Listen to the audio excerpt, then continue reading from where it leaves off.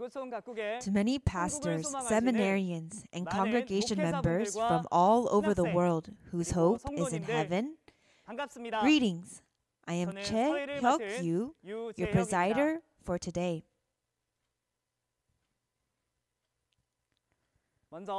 First of all, I would like to give thanks and glory to God for opening the Shincheonji online seminar. Before we receive the word at this time, we will gather our hearts and pray.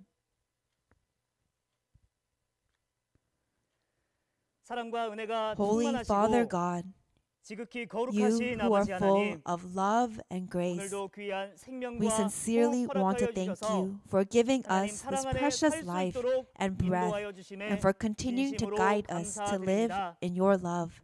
In particular, at this time, please fill your precious children of faith who have come to the testimony on the parables of the secrets of heaven and their true meanings, Shincheonji Online Seminar, with great grace and love.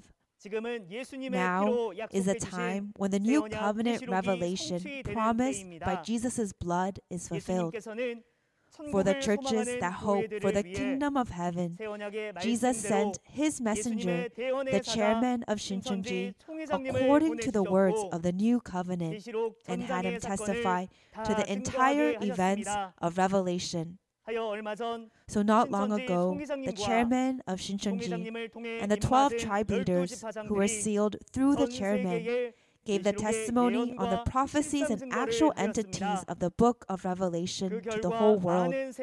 As a result, many pastors from around the world have signed an MOU with Shincheonji to become one. God, may you be glorified. Now, center instructors who have been taught through the 12 tribe leaders will clearly testify to the revealed theology, introductory lessons on the parables of the secrets of heaven and their true meanings. So, what we sincerely desire is that the eyes and ears to see and perceive the Bible may be granted to all family members of faith who are receiving the words of testimony today and that each will be led to enter inside the Bible and have a faith that is one with God, Jesus, and the truth. Please control the lips of the instructor who testifies and lead from the beginning to the end so that it can be a precious time overflowing with grace and thankfulness both for those who give and those who receive. God, we give you all the glory and pray in the name of Jesus who atoned for our sins. Amen.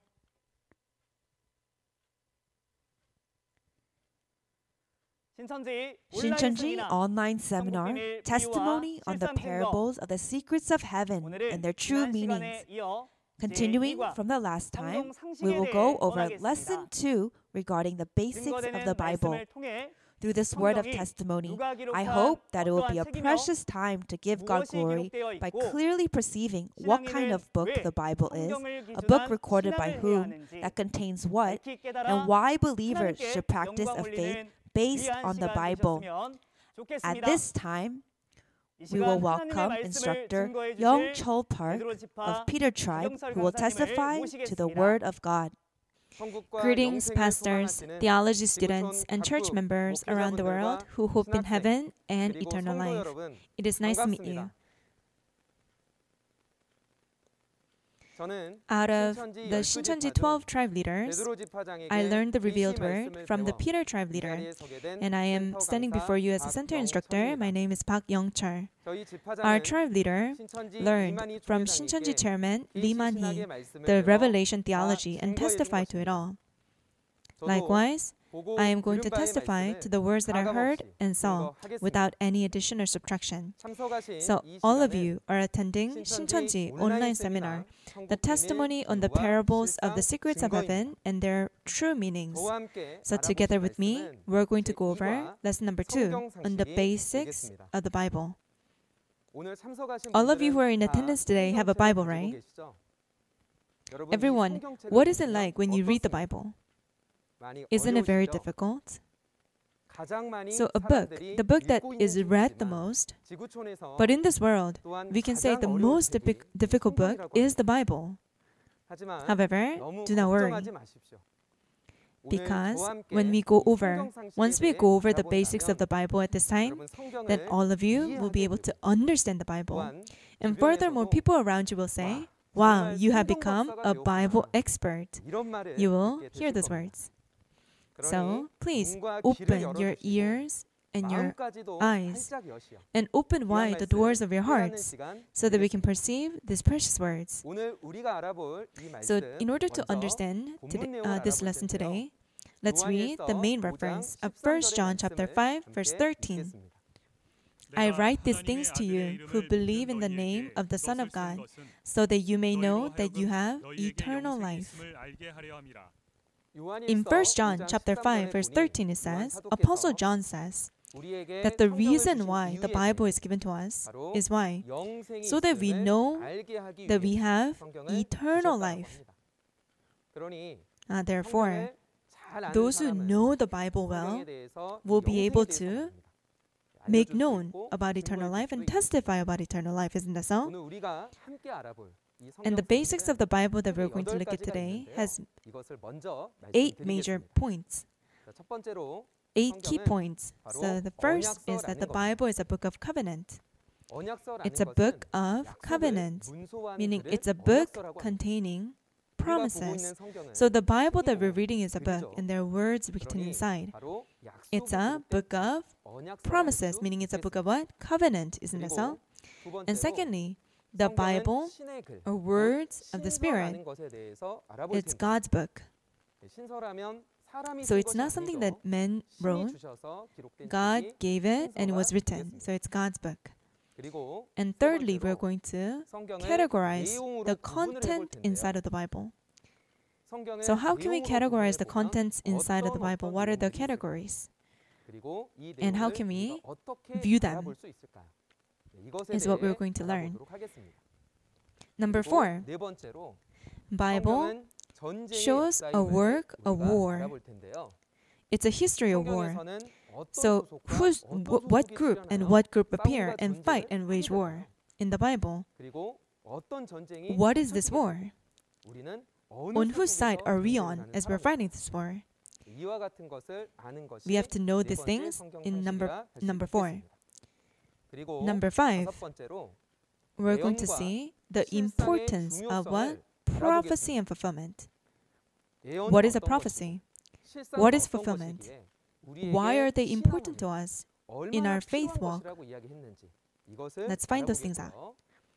Number six, we're going to see the seven periods of time in the flow of biblical history.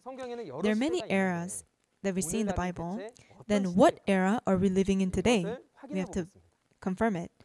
And number seven, let's look at the order of the fulfillment of the prophecies. When we say order, it's talking about a sequence, right? So prophecies do not fulfill randomly. They fulfill in a specific order. So we need to learn that. And number eight, God's objective of writing the Bible. What is the objective? Is to save us from the wages of sin, which is death, to save us and to what? Give us eternal life. That was the purpose of why God recorded the Bible. Like this, there are eight key points in the basics of the Bible that we're going to examine together. Are you excited? If so, then one by one, let's dive into it. So, number one, the Bible is a what? A book of covenant. It's a it's a words of promises. Then there must be people that are involved in this promise. So the Bible is a promise made with whom? The Bible says that those who have this covenant are the chosen people. So the Bible are words given to the chosen people. Chosen people we can understand in Psalms 89 verse 3. It's those who are chosen and made a covenant. And there are many names given to the chosen people. It's not just the chosen people. Various expressions that show the chosen people. What are these names? Israel or Judah or Jerusalem 또 and Zion. So these are the names that signify the chosen people. So when you're reading the Bible and you see these words, you can think, ah, this is talking about the chosen people, isn't that so? And the Bible, because these are words of promise, and to understand this in a big picture, in the perspective of a promise, the Bible has two big promises. What are these promises? It is the Old Testament and also the New Testament. So, this Old Testament, it's an old covenant. And we can see this. It covers from Genesis to Malachi. And the Old Testament is made up of 39 books, right? That is the Old Covenant. And there is also the New Testament. And the New Testament, it's a new covenant. And we can see this in covers from Matthew to the book of Revelation, totaling up to 27 books. So, adding this up, we can see the Bible is made up of 66 books, 1,189 chapters, and 31,101 verses. Words of promise. So the Bible, it's a book of a covenant. Now, let's examine this even deeper. Old covenant first. So, Old covenant, it was a promise made between who and whom? Who are the participants of this promise? The participants are God and physical Israel. And physical Israel, we say physical in flesh. They're hereditary born chosen people. And we say the Abraham's descendants are Jews, right? They are the chosen people of the old covenant. So God, He made a covenant with these chosen people in Exodus chapter 19, verse 5 to 6. So God, to them, through Moses, He spoke that they, if they keep the covenant, then they will become for me a kingdom of priests and a holy nation. So he said these words. So just because they're the chosen people, that God bless them, it's not so. As seen here, we can see it's what they have to keep the covenant. A promise like this in the Bible, we call it a conditional promise. There's a result of keeping the promise and not keeping it. And we can see this in Deuteronomy chapter 28. In Deuteronomy chapter 28, to those who keep the pl- promises, blessings are given, whereas to those who do not keep the promise, curses are given. Then, so this promise was made. But what was the content inside of this promise? The content is the law of Moses. So God's laws that were given through Moses. In Exodus chapter 20, God to the Israelites gave them 10 commandments, right? And together with the Ten Commandments, He gave them laws. And in Exodus chapter 24, it says, This covenant was made in blood of animal. And this promise that was made in the blood of animals, the, the Israelites keep this promise well. In 1 Kings chapter 11, we can see King Solomon worshipped Gentile gods. That's how he forsook the covenant, and that nation was divided into north and south. And furthermore, God to the Israelites said in Hosea chapter 6, verse 7, that Israel broke the covenant like Adam. So these individuals, we can see, they did not keep the covenant that was made with God. Therefore, God, through the prophets, promised the future events 그 And that is recorded in the words of the prophets. And if you examine those words, you'll see that because they were not able to keep the covenant, God is going to send a Savior who will save them from their sin.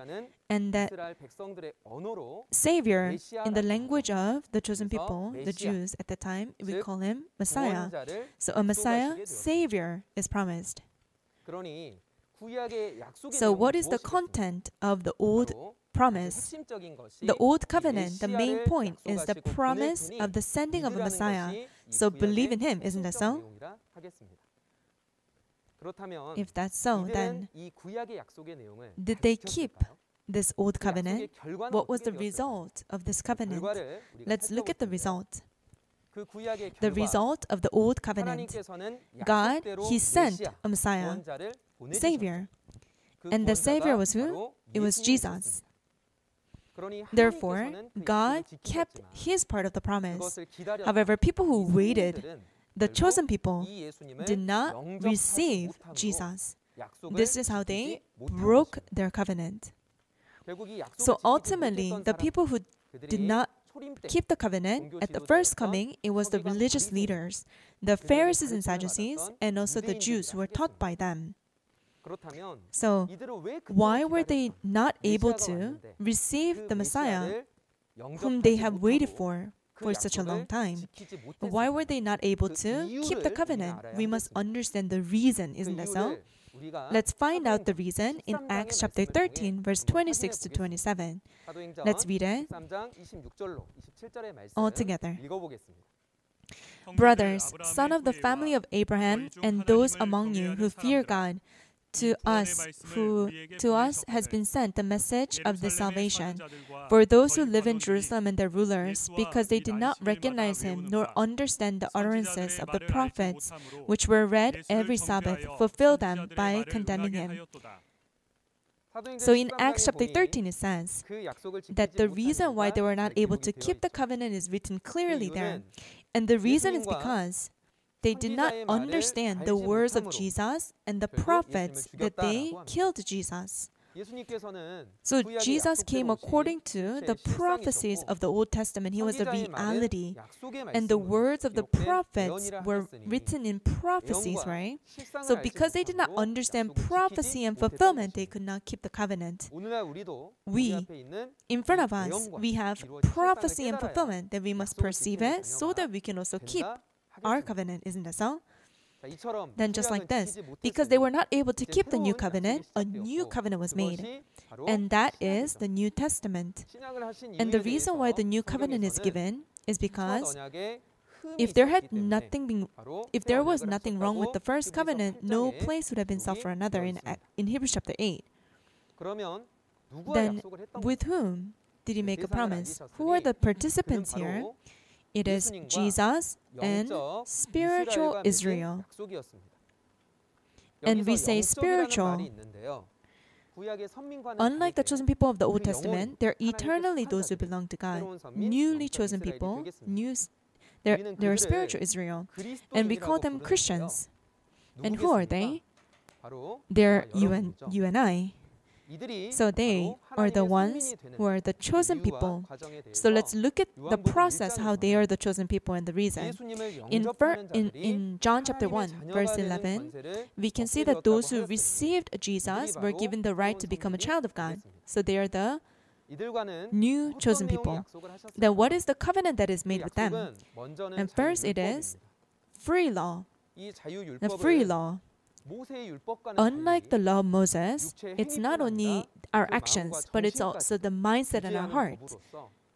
Regulations for, for that. And we can see this in the representative chapters of Matthew chapter 5, 6, and 7. So from sin to free people from sin. So that's why we call it the law that gives freedom. The promises of the New Testament began in Luke chapter 22, verse 14 to 20 says, that on Passover night, with Jesus' blood, a new covenant was established. Then, this new covenant that began, what was the reality? What is the reality that appeared? And the answer is revelation. Going to the book of Revelation, we can see how Jesus' blood appears in Revelation chapter 1, chapter 5, Revelation chapter 7, and also in Revelation chapter 12, it works. With Jesus' blood, people are free from sin. Kingdom and priest appears, and a multitude in white, appearance, and it's also used to fight against the group of the dragon overcome. Therefore, with Jesus' blood, a new covenant was established, and that blood takes into effect in the book of Revelation. Then, Revelation is the reality of the new covenant. Do you understand? So, reading the book of Revelation, in Revelation chapter 22, verse 20, Jesus shows all these things to John, and then he says, I am coming soon referring to his second coming. Therefore, inside of the new covenant, it is not only the free law, but it also talks about the prophecies of Jesus' return. We must perceive this so that we hear those who keep the covenant. Then, this covenant, what is the result? Two things result of the covenant of the, those who keep it and those who do not keep it.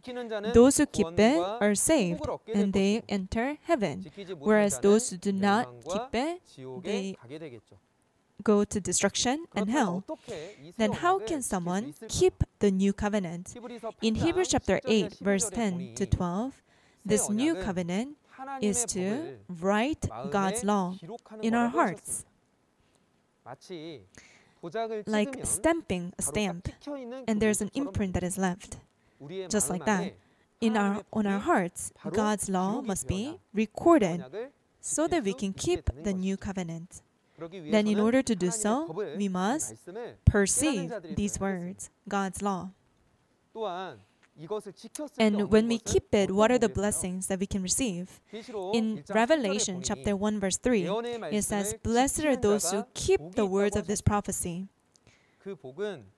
And that blessing is what? Heaven and eternal life. So there are also blessings that are prophesied for those who keep it. However, Jesus, in concern that there may be those who do not keep it, he also said this. In Luke chapter 18, verse 8, when Jesus comes back, at, the, at Jesus' second coming, will he see faith, he says. So today, on this earth, there are numerous people who have faith. However, why is it in the Bible? It says when Jesus returns, will he see anyone with faith? Then it shows that this is not just common faith that we think about. It's what? Faith in prophecy and also fulfillment, isn't that so? So let us not only believe in prophecy, but let's also believe in fulfillment, so that we can be those who keep the new covenant that were spoken in, of in the Bible. So this was the first main point. Let's go. Let's move on to the second main point that the Bible is words of spirit. So it's God's book, right? It's words and book of God. So even in the world, there's also an author. Then the one who wrote the Bible is who? It's not man, it is God. Therefore, the author of the Bible is God. But God is in spirit. So, how was he able to record the Bible? God, he chose people and had them write God's will in every era, and they, we call them writers. There are approximately 35 to 40 writers the Bible was written, and they wrote on behalf of God. For example, I myself, I'm writing using this pen, right? So the author is me, but this pen is a tool. Like this, God is the author, and God in every era had prophets and the Lord's disciples, use as a tool, as a pen, to record the Bible. If that's so, then what was the method in which the Bible was written? It was, it was God breathed. In 2 Timothy chapter 3 verse 16, it says, the scripture was written with God's breath. And in 2 Peter chapter 1 verse 21, it was those were carried along by the Holy Spirit and they spoke from God. Isn't that so? So the method of how this was recorded is what? Being carried along by the Holy Spirit. Then the question is are, are all teachings that are taught with the Bible God's teaching? The Bible says there are two kinds of teachings. What are the two kinds of teachings? It is the teaching of the Holy Spirit and also man's teaching. Everyone, which teachings do you desire to learn? The teaching of the Holy Spirit or the man's teaching? We all desire to receive the teachings of the Holy Spirit, isn't that so? Then we have to know and to be able to discern. So first, let's look at man's teaching. Man's teaching, it's man's teaching, it's man's philosophy, how men in arbitrarily interpreted the Bible and teaching it with their own thoughts. So how did man's teachings come about? In Revelation chapter 5, there is a book in God's hand, right hand, and this book was sealed with seven seals. And because it is sealed, there is no one who can open or even look inside. This book that is sealed, what book is this? The answer is found in Isaiah chapter 29. In verse 9 to 13, it says, This vision is like a sealed scroll, meaning a vision. Vision is what is sealed, isn't it so? A vision is referring to the things of the future. It's a prophecy. So prophecies are what? Sealed. Therefore, the book that we find in Revelation chapter 5, because it is sealed, we can we can now understand it's a book of prophecy, isn't it so? And like this, no one can understand the prophecies. However, they still taught it. That's when men's teaching came out. So, what is men's teaching? Men's teaching is what? Taking God's words and interpreting it with men's thoughts and teaching it. And men's teaching, when is it made? the, when Isaiah chapter 29 fulfilled at the time of first coming, at the first coming, that's when men's teachings were taught.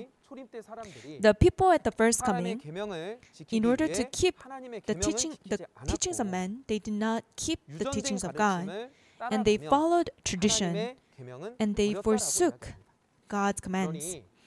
So, what are traditions? Traditions are teachings that have passed down for a long time. Those are tradition. And because they were trying to keep the tradition, they could not keep God's commands and they actually just abandoned it. And when they're inside of man's teaching like this, what was needed? It was the promised teaching of the Holy Spirit. Theology.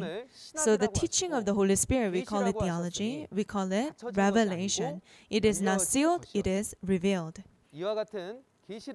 The one who, the, a person who delivered the words of revelation like this, at the first coming it was Apostle Paul. And looking at Galatians chapter 1, Apostle Paul says, the gospel that he preached was not received or was I taught by men, meaning it's not man's teaching. All of this, he received it by revelation from Jesus Christ. So he learned it as a revelation of Jesus Christ. That is theology. And like this, through revelation, the one who learns it is the one who receives the theology teaching, and we call them theology students. It's not that one goes to a theology school that they are theology students. Those who learn the teachings of the Holy Spirit are the theology students. Then, how is this teaching? Where is it taught? How is it taught? In 1 Corinthians chapter 2 verse 10 it says, God, the, the Spirit searches all things, even the deep things of God. So it is because it is written by the Holy Spirit, the Holy Spirit has to make it known to us that we can know the deep things. Then how does this play about? Isn't that so? Looking at the book of Matthew, at the first coming, Jesus spoke the things regarding the kingdom of heaven in parables. So the things regarding the kingdom of heaven is spoken in parables. So why did he speak in parables? And the reason is because in Psalms chapter 78 verse 2, a prophet long ago says, he will utter hidden things, things from of old. In parables, so this is the reason why Jesus spoke in parables, but this does not remain as parables forever. And at an appointed time, he said there will be a it will be spoken plainly. Then, at an appointed time, the secrets of the kingdom of heaven, the parables will be able to make known plainly. And the method to know is found in the title of the seminar. What kind of seminar are we attending today? It is the testimony on the parables of the secrets of heaven and their true meanings, isn't that right? So, these secrets of heaven, fulfill veil and the reality appear. And the reality, we can understand. with this reality, we can perceive the secrets in the parables of heaven. And with this perception, we can enter the promised heaven. Therefore, at this time, through the teaching of the Holy Spirit, through the teaching of revelation theology, let's be those who enter heaven. Like this, we saw the second main point of the basics of the Bible. Now let's move on to the third point. Third point, we're going to categorize the contents of the Bible. How many categories can we find of the content of the Bible? It is four, which are history, moral lesson, prophecy, and fulfillment. Then, how can we view history? History are the events that took place in the past, and we have to view it as examples and warnings in 1 Corinthians chapter 10, referring to the events of the time of Moses, in verse 11 it says, On us, on whom the fulfillment of the ages has come, these things are a mirror and warnings. So we use a mirror to see our own reflection. When you Look at a mirror, you see your self reflection, right? Just like that, the history in the Bible, it's like a mirror that shows ourselves. And with this mirror, we have to take warning, isn't that so? This is the reason why history is given to us. Secondly, moral lesson. Moral lesson, how can we view this? And the reason why moral lessons are given to us is so that we can become a complete person, isn't that so? Like it says in 2 Timothy chapter 3 verse 16 to 17, with these trainings and rebuking, he wanted to make us mature. Isn't that right? As God's people. So we also need to receive these moral lessons so that we can correct things that are incorrect and fix within us, isn't it so? And number three, there's prophecies. And the reason why prophecies are given to us, let's find out by reading John chapter 14, verse 29. I have told you now before it happens, so that when it does happen, you will believe. Ah, in John chapter 14, verse 29, these things were told to us before it happens, meaning prophesied, right? So the reason why prophecies are given to us so that when they fulfill, when, when it happens, meaning when they fulfill, we can believe. This is why prophecies were recorded for us. So prophecies were foretold to us and the purpose of it is so that when it does happen, when it fulfills, we can believe.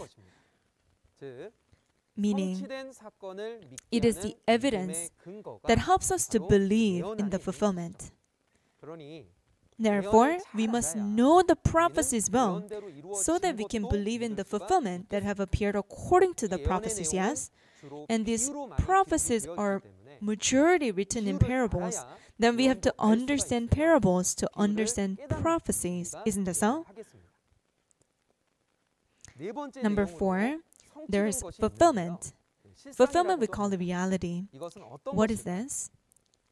This is what has been accomplished according to the prophecies.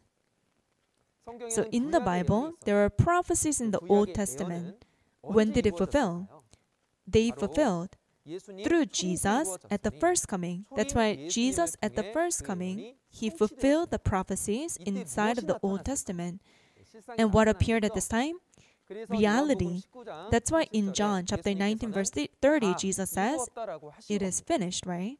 It is fulfilled. So he fulfilled all the words of the prophecies of the Old Testament.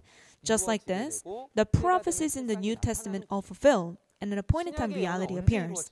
When do the prophecies in the New Testament fulfill? They fulfill through Jesus at the second coming. This is why the scripture says in Revelation chapter 21, verse 6, once again, that it is what? It is done. Like this, at the, at the place where there are prophecies, there also must be fulfillment that appears according to those prophecies.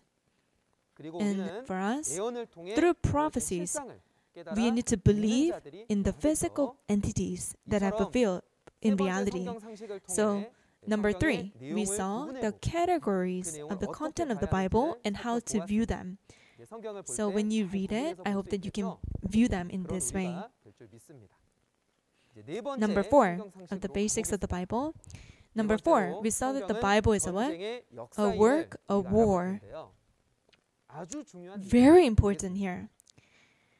The main point of the 66 books of the Bible, more than anything, it is that that there is a war between those who belong to God and those who belong to Satan.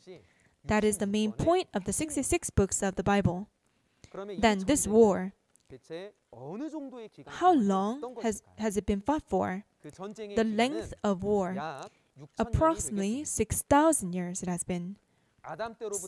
Beginning from the time of Adam to today, the fulfillment of Revelation, the Bible wrote about this continuous war.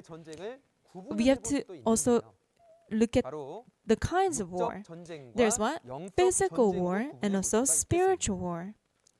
At the time of the Old Testament, it was mostly physical wars. In the New Testament and also in prophecies, it talks about spiritual war.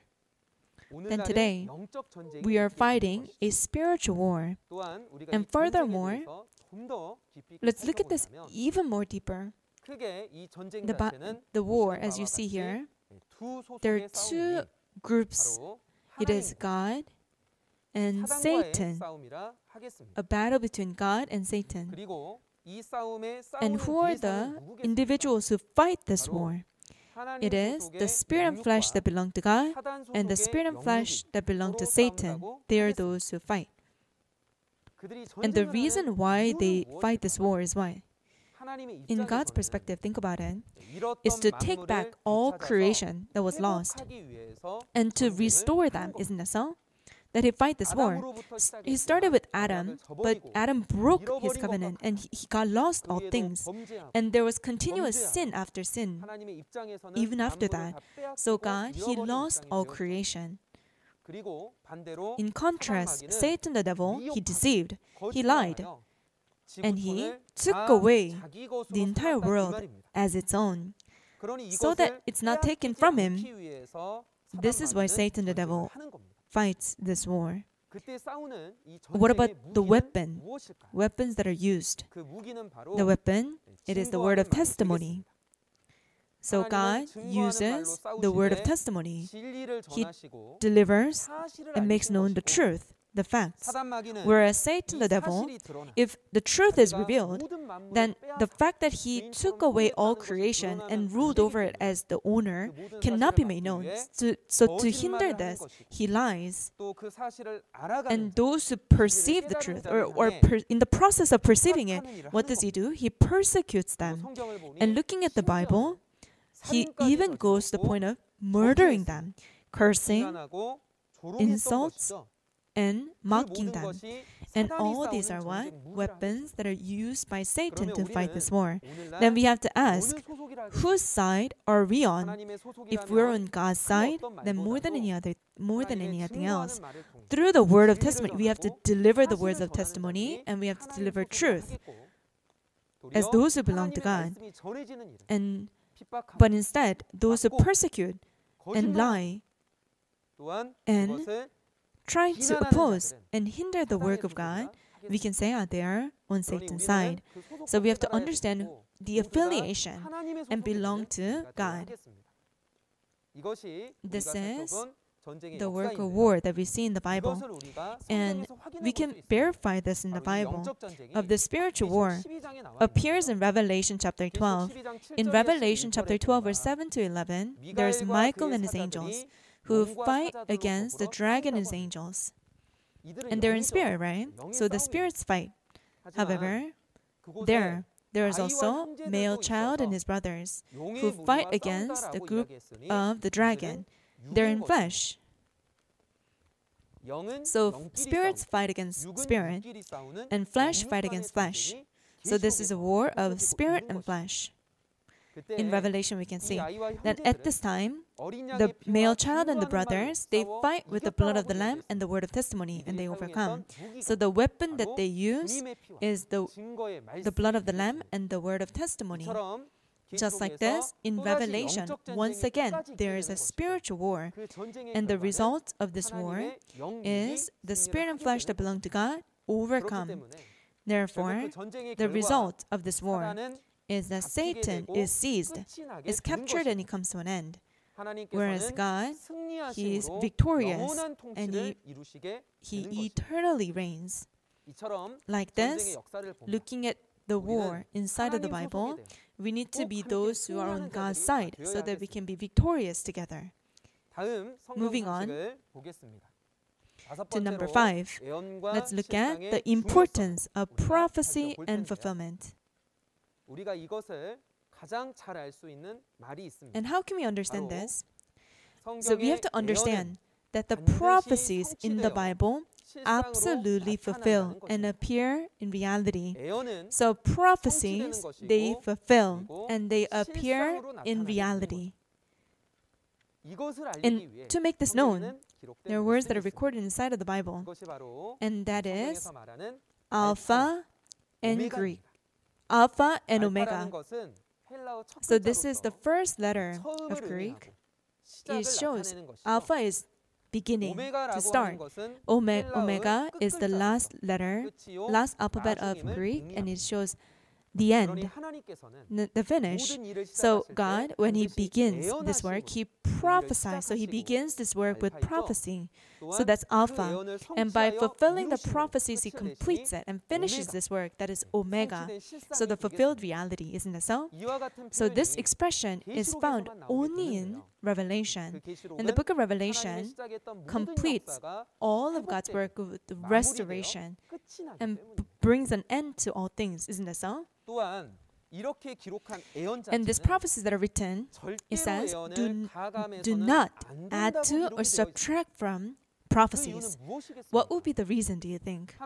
So God, according to the prophecies that He recorded, He fulfills as exactly, isn't that so? So if one adds to or subtract from it, one cannot keep the words of the prophecy.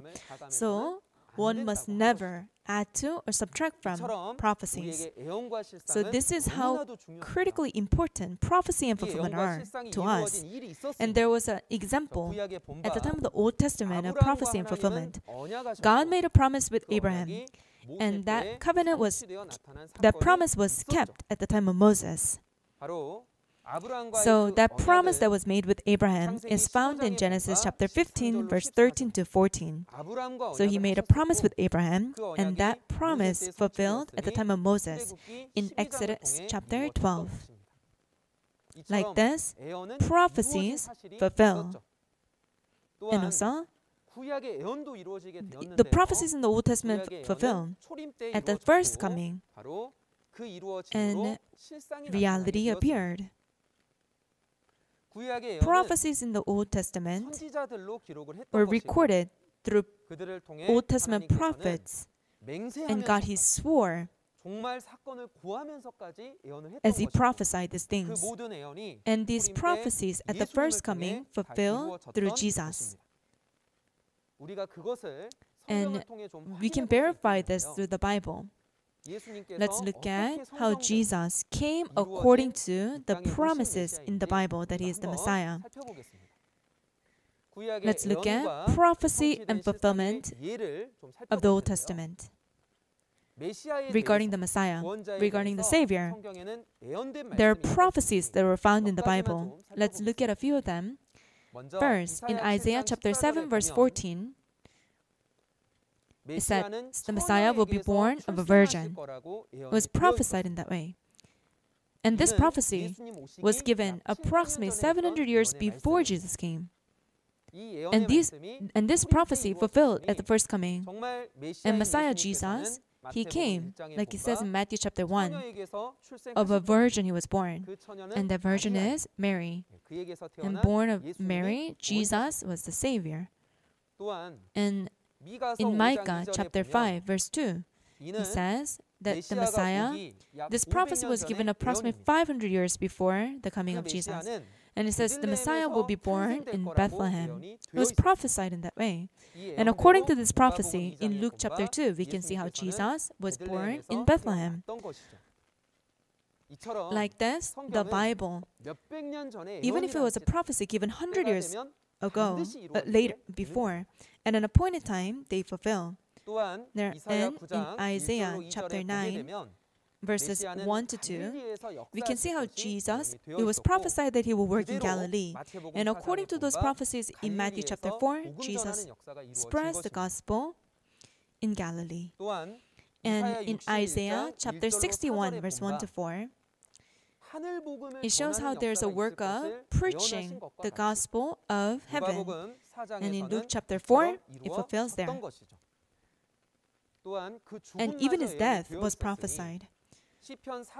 In Psalms chapter 40 and 41, Messiah will bear the cross, it was prophesied. And in Matthew chapter 27, he does. Therefore, all the prophecies in the Old Testament fulfilled and reality appeared. We verified through this, right? And Jesus is the one who came according to these promises. Then the reason why we must believe in Jesus, we can see in the Bible. Then, for us, we have the prophecies in the New Testament left for us? Then when do the prophecies in the New Testament fulfill? They fulfill at the time of second coming and appear in reality. This is how prophecies all fulfill.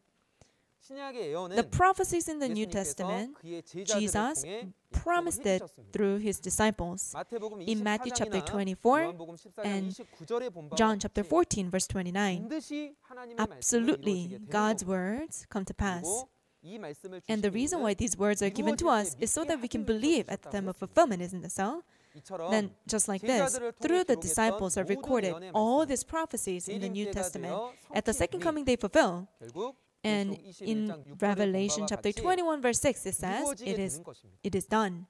It is fulfilled. Then who would appear at that time? It's not the writers that appear again. It is, according to the word, what? God's promise pastor who appears to fulfill the words of promise, isn't that so? And this shepherd is Jesus' messenger sent to the churches, and he saw and heard the entire events of Revelation at the actual location. So he testifies to these words of promise. Then at that time, we must believe the words of prophecy and fulfillment, and we can know the parables plainly. So, what is faith that is needed at this time? It is what is the true faith that is needed at this time? It is faith in what? Prophecy and fulfillment that has appeared according to the promises. Isn't that so? If one only believes in prophecies, that's 50% faith. However, if we believe in prophecy and fulfillment that has appeared according to the promises, that's 100% faith. That's complete faith, isn't it so? Then we must not have lacking faith, we must have complete faith.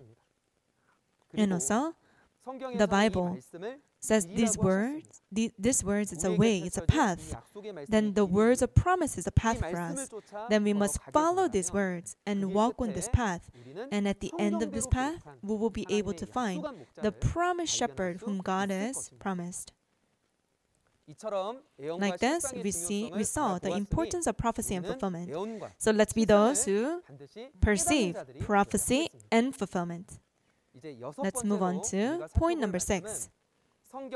It is the seven per- periods of time, the seven periods of era in the Bible, in biblical history. So, what are the eras and why is it important to know these eras? In Luke chapter 12, Jesus said to the believers at the time that you know how to interpret the appearance of the earth and the sky, but you don't know how to interpret the present time. And then he says, Why don't you judge for yourselves what is right? Isn't that so? And then he calls them hypocrites. And because they're unable to do this, then if we're unable to do this, then we'll be hypocrites. So be able to what? Discern the time, the era. Then what are the eras that are found in the Bible? First, it is, it is the era of Genesis, the period of Genesis. The period of Genesis when God chose the first man, Adam, and made him a living being with the breath of life. However, he did not keep his covenant and he was kicked out of the Garden of Eden. And furthermore, like God's words, with the, with the sin of eating the fruit of good and evil, his spirit and flesh died even the descendants of Adam who sinned, because they did not keep their covenant with God, God chose Noah, the ninth descendant of Adam, and had him build an ark. And he made known that there will be a judgment of flood in the world that sinned. However, until the end, they did not listen to that voice.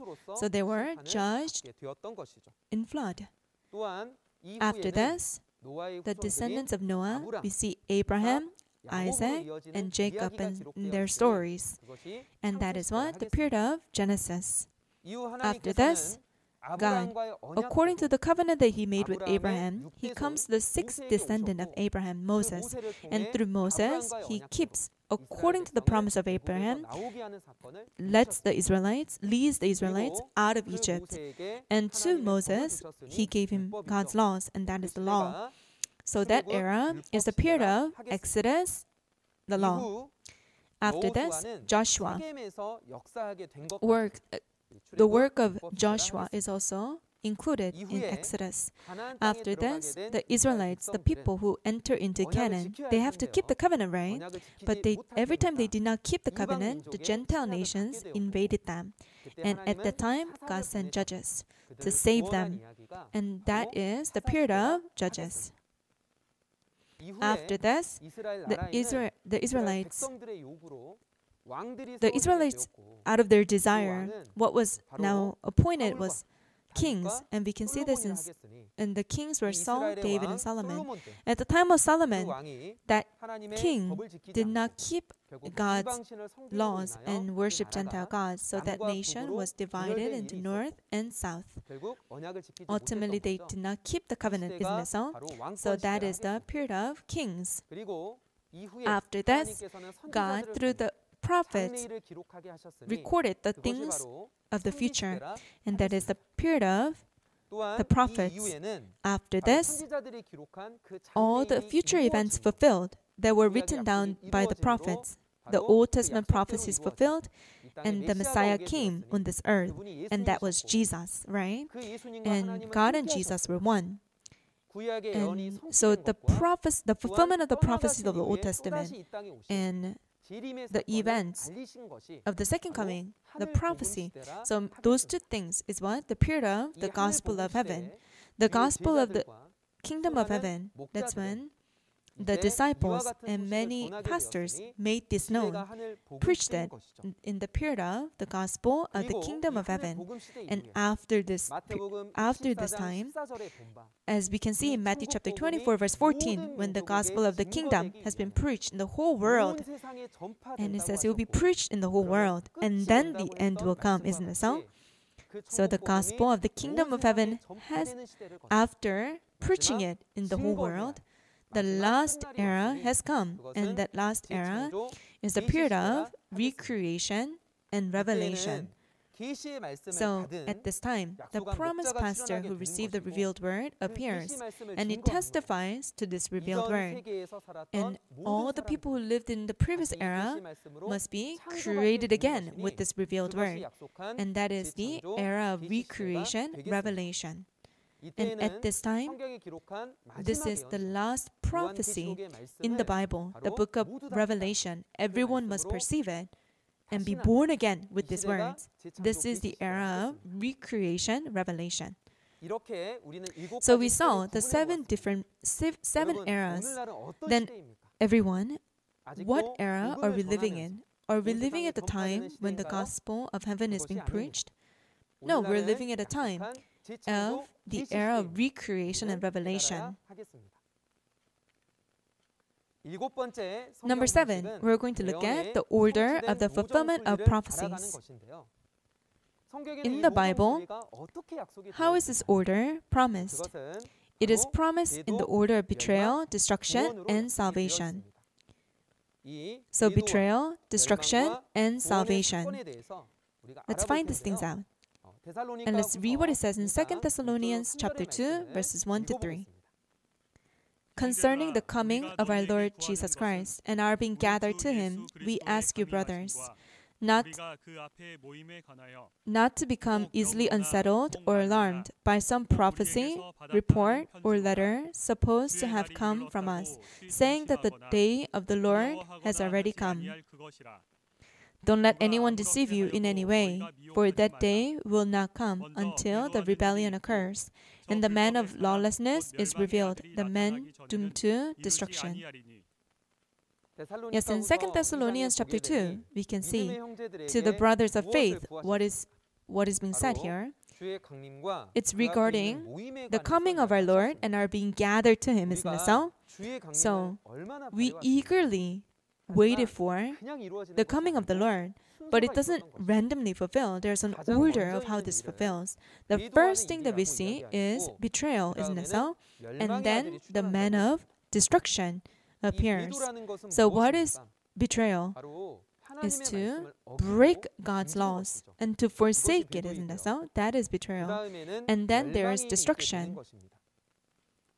And then in the in the midst of destruction, those who are saved and gathered, that is the work of salvation.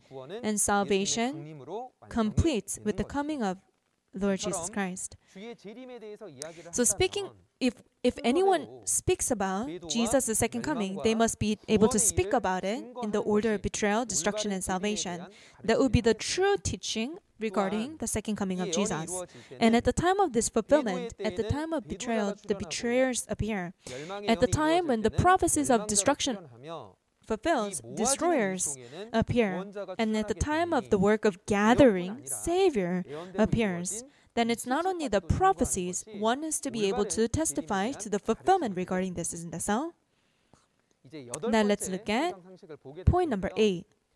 It is that the objective, God's objective of writing the Bible is not the wages of sin, which is death, but to give us what? Salvation and eternal life. The beginning of the Bible, it began with sin, and there's the wages of sin, which was death. And that is written in the time of Genesis. The first man, Adam, did not keep his covenant with God. He ate from the fruit of good and evil, and therefore he died. He surely died, like God said he would. And in Romans chapter 6, verse 23, it says, The wages of sin is death.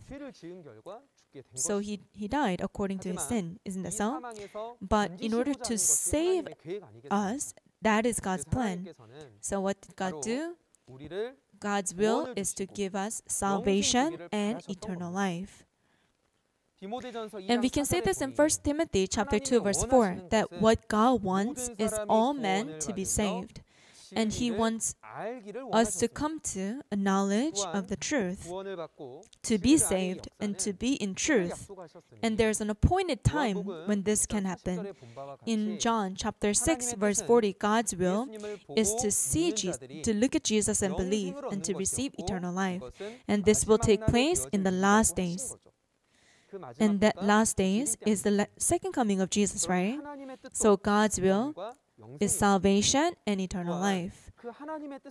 And the Bible that records God's law, what is the purpose purpose of recording God's law is what to give salvation and eternal life. Like the words that we read in 1 John chapter 5 verse 13,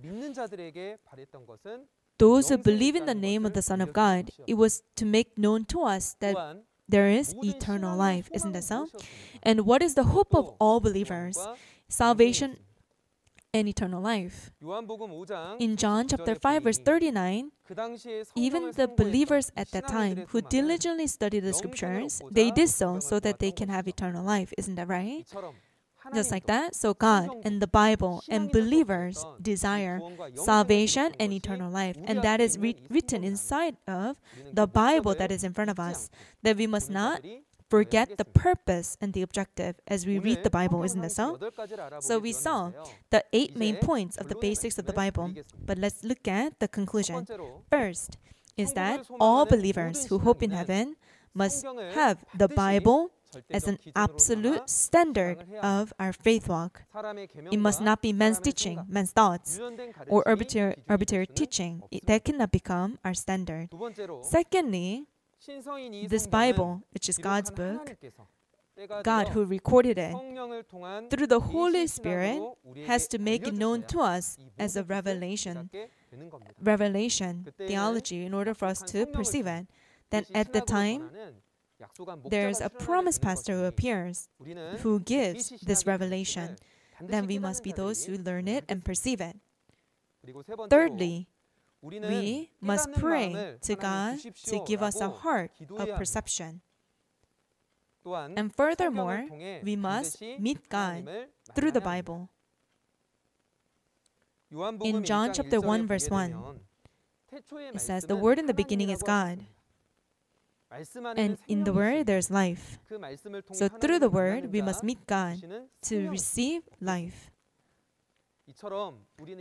Then, Now, we can see the secrets of heaven, these parables, we must know it so that we can enter heaven. These words of parables, and at a point in time, because the reality appears, it can be made known plainly, and it can be testified plainly. Then The secrets, the parables of the secrets of heaven we will learn in the future lessons. I hope that we can perceive it well. In the next lesson, a a a lecturer who is more skilled than I am will come. So please attend and perceive the precious words. We must never forget and remember that in God and in Jesus, we are one.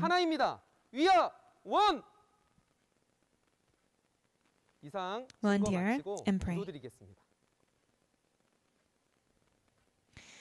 Father God, we are very grateful and very thankful that out of your grace, you've allowed to us the seminar of the testimony on the parables of the secrets of heaven and their true meanings, and guided your children who loves you to this place.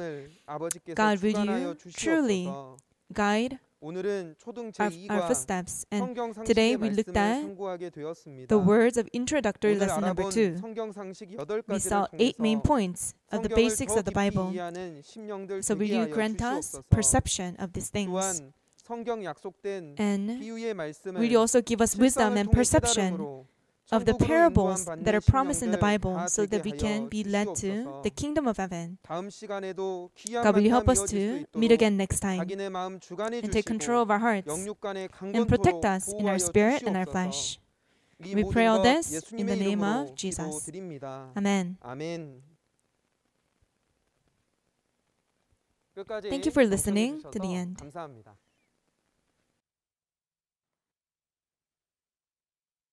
In Revelation 9, there are horses that kill a third of mankind, and the heads of these horses rest on their tails. Do these kinds of horses exist in the world? What is the reason that the secrets of heaven were spoken in parables? Then, if there was a time when he did speak in parables, when there also be a time when he won't speak in parables any longer and clearly reveal the reality? To whom will the them group who do not receive the secrets of the kingdom of heaven belong? Shincheonji Online Seminar. Testimony on the Parables of the Secrets of Heaven and Their True Meanings. Today, we looked at Lesson 2 about the basics of the Bible. Pastors from all over the world who are listening to these words. and believers who believe in God we are seeing the same words of the Bible under the same God. Even though our races, languages, and countries may be different, the sincerity of longing for the Word of God is the same, and we believe that there is only one Word of God's truth. We, the 12 tribes of Shincheonji, want to share the Word of truth with everyone in the world and want to carry out a faith to worship God in the heaven of freedom, peace, and love, free from sin and law. Currently, many pastors and seminaries who have recognized this earnest desire are signing MOUs with Shincheonji for biblical and cultural exchange. Shincheonji is open to all who long for the word. Pastors who want to sign an MOU with us through this seminar can join us at any time by contacting us by email or phone using the representative phone number. Lastly, we would like to express sincere gratitude once again to the pastors and congregation members around the world who joined us. We hope that you will join us next time and also until the end. We will conclude at this time and pray the Lord's Prayer together.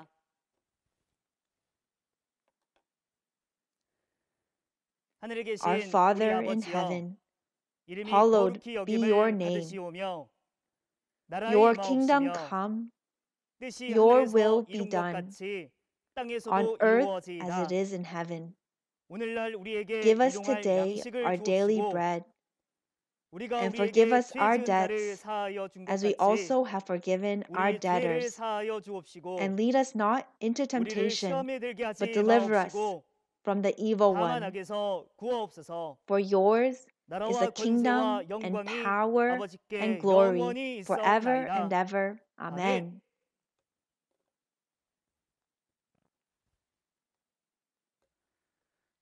family of God, thank you to everyone who joined us.